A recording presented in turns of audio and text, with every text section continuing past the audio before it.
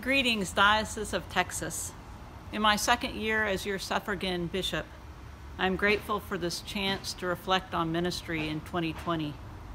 In our few minutes, I'd like to celebrate how I saw God moving and you responding to the Spirit's leading, particularly in the West region, through our common work. Disruption characterized 2020.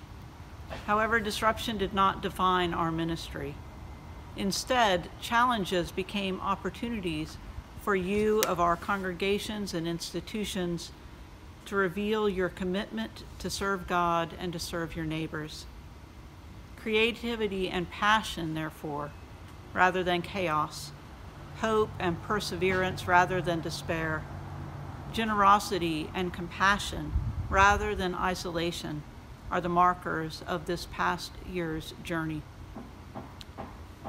You determined, with your bishops, medical advisors, and each other, how to worship effectively and safely, cleaning protocols, gathering practices, Zoom services, coffee hours, Bible studies and meetings, remote teaching and learning.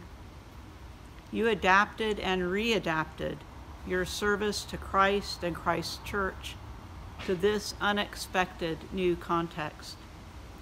Some previously focused on youth, music, or newcomers, or any of a number of ministries, quickly studied how to stream live manage sound and cameras, and incorporate worship leaders from multiple venues. You did this not because you yearned to become internet broadcasters, but because you wanted to equip the church for the worship of God. Others learned how to be greeters and ushers for online services, modeling a warm welcome through the chat box. You consulted with and supported your colleagues in other parishes and institutions, honoring one another as you each decided how to move forward. You adopted and adapted the discipline of the daily office, seeking God's help, supporting one another in a life of prayer, and making public witness to your faith in Jesus Christ. You prayed for the relief of the sick, the protection of healthcare workers, the advancement of racial justice, and for a peaceful and fair election. Every week, as I read your e newsletters, talked to rectors, vicars, deans, headmasters, and executive directors, met with vestries and boards, I encountered the people of God responding to the God they know in Christ. And you did not forget the least of these Christ's beloved ones. You gathered food and supplies and gave money for those plunged into food insecurity. You provided takeout meals when you couldn't open your parish halls. You worked with new partners to address rapidly expanding and changing needs to make sure seniors and school children and immigrants did not go hungry. You weighed risks and ensured the hungry were fed and the vulnerable protected. You contributed to provide mental health services to college students and young adults. You found ways to open as polling locations, to welcome AA groups, to support those protesting injustice, to advocate for those in danger of eviction.